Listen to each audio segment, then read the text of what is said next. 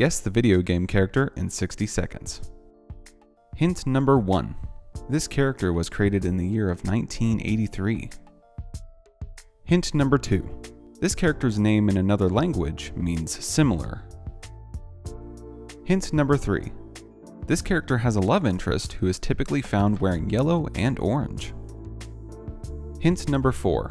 This character owns a pet, more specifically, an unusual pet dog. Hint number 5.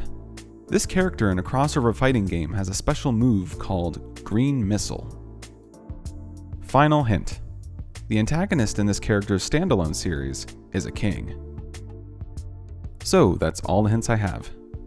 You ready to take a guess? The character is Luigi from Super Mario Bros. Did you get it right?